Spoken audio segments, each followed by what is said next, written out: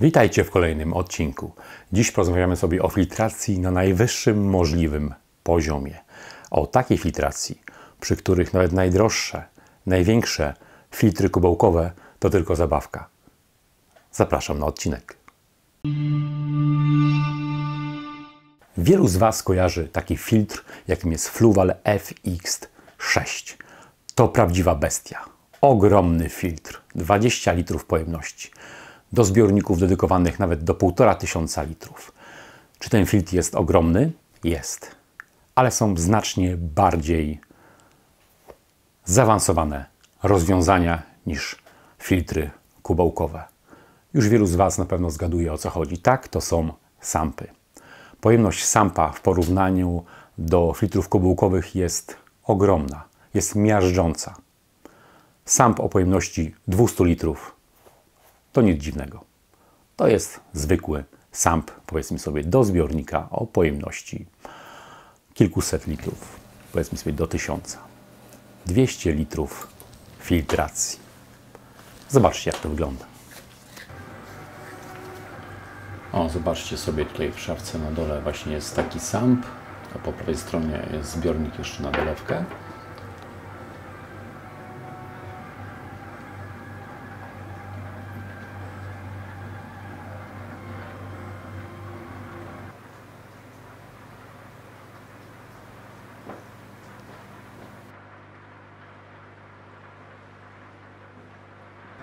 Tutaj widzicie e, właśnie komin i u góry grzebień. Tutaj z góry troszeczkę lepszy widok. Tutaj właśnie są te trzy przeloty. Ten z czerwonym zaworem, tędy właśnie dostaje się woda do sampa. Ten pod kątem to powrót wody z pompy biegowej i rewizja. O wężach karbowanych obok wspomnę za chwilę. Jak widzicie tutaj woda trafia jeszcze w tą skarpetę filtracyjną. Widać grzałkę i dwie kolumny na pochłaniacz azotanów fosforanów.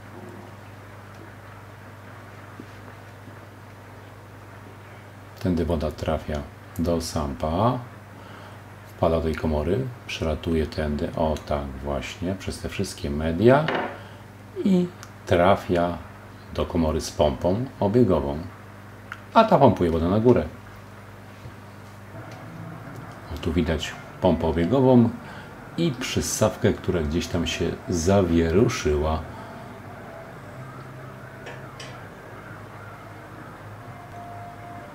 Sterownik do pompy obiegowej.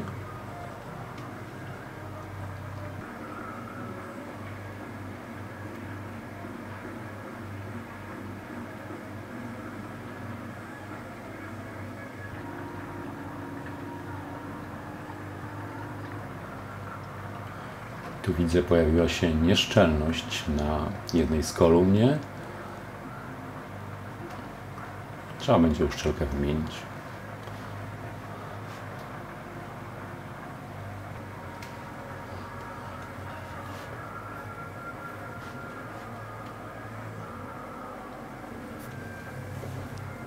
A tutaj jest wlot, czyli przelot w szkle na filtr. O, widzicie, tu jest zasys do FX6, do Fluvala FX6, a tędy właśnie woda wraca z FX6. Też jest tutaj oczywiście przelot w szkle. Taki filtr sam by sobie tu poradził bez tego sampa i sam by sobie poradził bez tego filtra, ale jak się bawić, to porządnie, prawda? O, zobaczcie, tu jest właśnie FX6, tam z tyłu za akwarium w szafce jeszcze.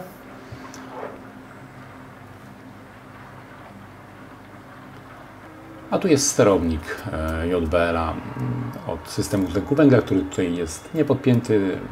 Buta nie jest podpięta i ma takiej potrzeby, bo to będzie Malawi czy Tanganika. Malawi chyba w sumie jeszcze nie wiemy co tam będzie. Raczej Malawi. Tak to się prezentuje. Jak widzicie nie ma tu wapiennych skał typowych. Mi się to już przyjadło, znudziło. Myślę, że ten rodzaj skał zupełnie inaczej wygląda i daje zupełnie inny klimat akwarium. Oczywiście sampy mogą mieć różną budowę. E, tak naprawdę każdy z Was zaprojektowałby totalnie innego sampa z zupełnie innej pojemności, z różną e, ilością tych komór, tych podziałek. Tutaj e, co właściciel akwarium sampem, to inny samp tak naprawdę. Nie ma tu jakiegoś ogólnego wzorca, są pewne zasady, ale różnorodność, jeśli chodzi o sampy, jest okrutna. E, I każdy właściciel swojego sampa jest przekonany, że jego rozwiązanie jest najlepsze i nie ma o czym dyskutować. To właśnie on zaprojektował najlepszego sampa i on ma najlepszego sampa, każdy inny, kto ma innego sampa, jest w błędzie. Nie będę się sprzeczał. Niech każdy projektuje sampa do własnego akwarium, pod własne rozwiązania, na własne potrzeby. Dlatego sampy mogą być tak bardzo różne. Opowiem Wam teraz pokrótce, w bardzo prosty sposób, jak działa taki samp. Wyobraźcie sobie akwarium, które ma działać sampem. W takim akwarium znajduje się tak zwany komin. Jest to wydzielona część zbiornika, najczęściej gdzieś tam w rogu, z brzegu, ale też są kominy zewnętrzne. Jest tutaj też dość e, dużo rodzajów tych kominów. E, a więc taki komin jest to wydzielona część zbiornika u góry zakończona grzebieniem. E, oczywiście krawędź tego komina jest poniżej krawędzi całej zbiornika. Woda wpada przez tą kratkę, która zapobiega temu, żeby ten grzebień oczywiście zapobiega temu, żeby tam się nie dostawały ryby, ślimaki i cała tam reszta, wpada do tego komina. W kominie na dole są trzy otwory w szkle na przeloty. Zazwyczaj jest to e, otwór, którym woda spływa, czy nie sam otwór, tam jest hydraulika założona, są tam e, sitka spływowe i tym podobne rozwiązania. I więc takim jednym, taką jedną rurką, takim sitkiem, przy pomocy oczywiście rury, woda trafia z komina do akwarium. E, drugi otwór w tym szkle to jest tak zwana rewizja. Rewizja jest to taka, e, jest to takie zabezpieczenie, jest to taka rurka, która jest troszeczkę wyżej nad krawędzią wody. Gdyby się zatkał spływ, woda popłynie rewizją do sampa. Nie wyleje Wam się przez, krawędzie, przez krawędź zbiornika. No i trzeci otwór to jest powrót już z tej pompy na dole w sampie. Woda e, z powrotem wraca do akwarium. Oczywiście ten trzeci otwór wcale nie musi być e, w kominie, może być po drugiej stronie akwarium. Dowolność jest, jak wspominałem, ogromna. A więc woda dostaje się do takiego komina, e, przy pomocy rury spływa do sampa. Tam po drodze jest jeszcze zabór, który można sobie regulować, jak gdyby poziom tej wody w tym kominie, e, bo im niższy poziom, tym większy hałas niestety, bo ta woda się przelewa jak wodospadem i, no i ten szum słychać, szczególnie w nocy, może być uciążliwy, ale możecie sobie wyregulować, że będzie prawie na równo e, z taflą wody, z tylko z niewielkim spadkiem. Wtedy e, urządzenie, cała ta instalacja pra, pracuje dość cicho. Więc woda wpada do takiego sampa, jak widzicie tutaj do takiej komory, tej pierwszej, w której utrzymuje się pewien stały poziom wody.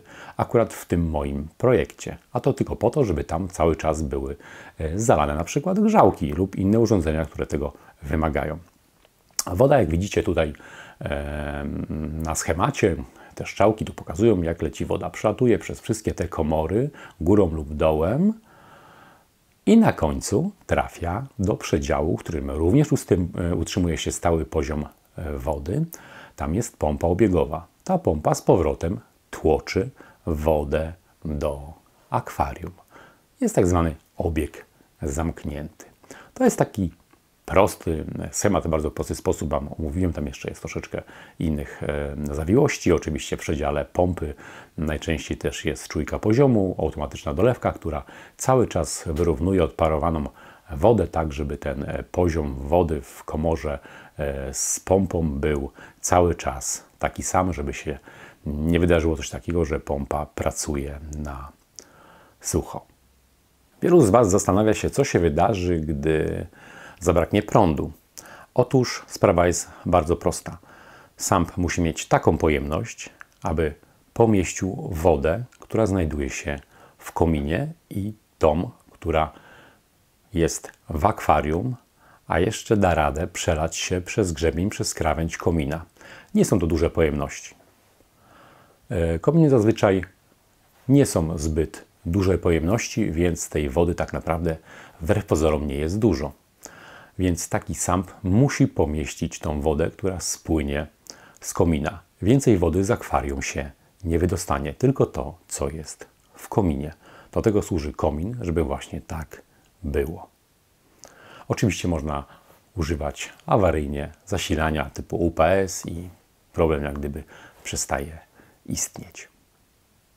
A jak to się dzieje, że woda, która spływa przez komin do sampa i wraca z powrotem, jakby się nie przelewa? Jak e, wyregulować to, żeby tyle wody, e, co wpada do sampa, z niego wypadała przy pomocy tej pompy? Oczywiście musi pompa mieć odpowiednią moc tej, tej, których pomp, których ja używam, mają po prostu zwyczajnie regulację. Również można sobie, jeśli nie macie takiej regulacji na pompie dość dokładnej, możecie użyć e, zaworu na, na wylocie. Oczywiście zawór musi być też na e, tej różce, która, którą woda spływa z komina do sampa. To dzięki tej, właśnie temu, temu zaworowi możecie sobie tam to wszystko ładnie wyregulować, aby wpadało tyle wody, ile pompa jest w stanie wypompować sampa.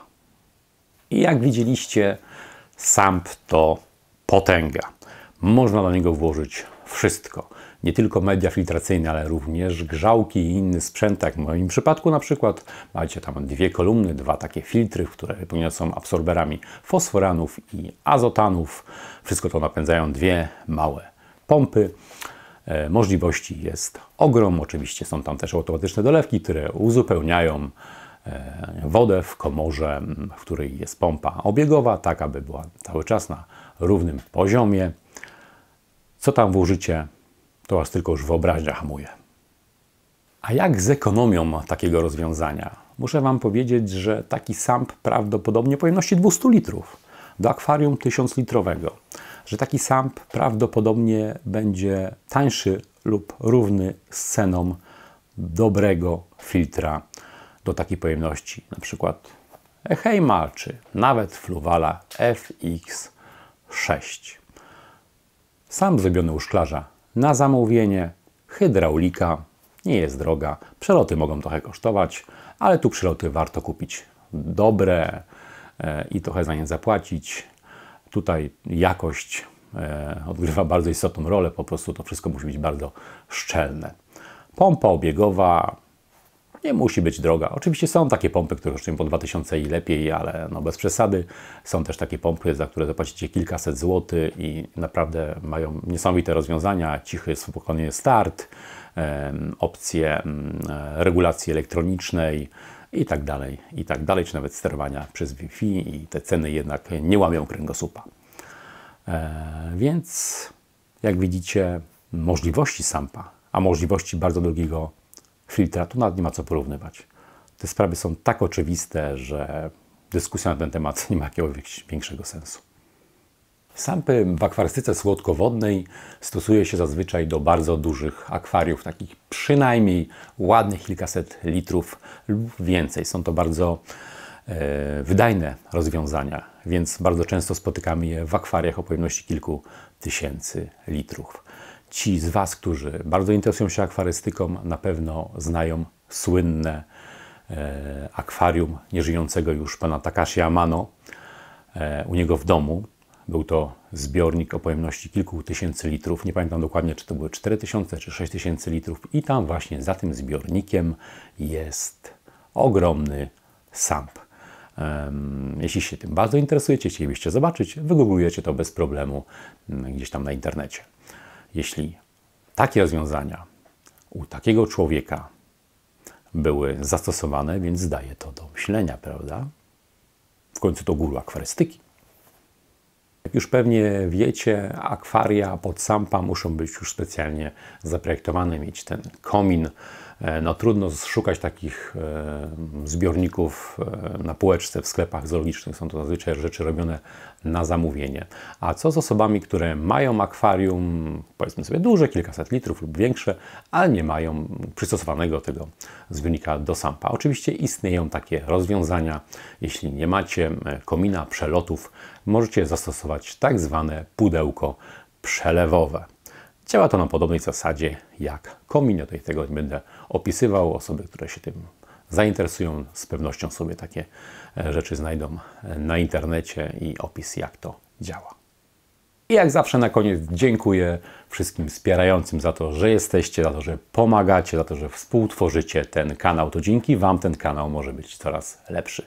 Jeśli ktoś by chciał wspierać ten kanał, jest taka prosta możliwość. Wystarczy kliknąć w ikonkę wesprzyj tuż obok ikonki subskrypcji. Tam dalej system Was poprowadzi. Oczywiście wszystko jest dobrowolne, nie jesteście związani żadnymi umowami i możecie się wycofać ze wspierania w każdym dowolnym momencie bez podawania jakichkolwiek przyczyn. A wszystkich innych zapraszam na mojego Facebooka, gdzie dowiecie się wcześniej, jaki będzie temat następnego filmu, z jakim ten pojawi się na YouTubie. Zapraszam, wpadajcie.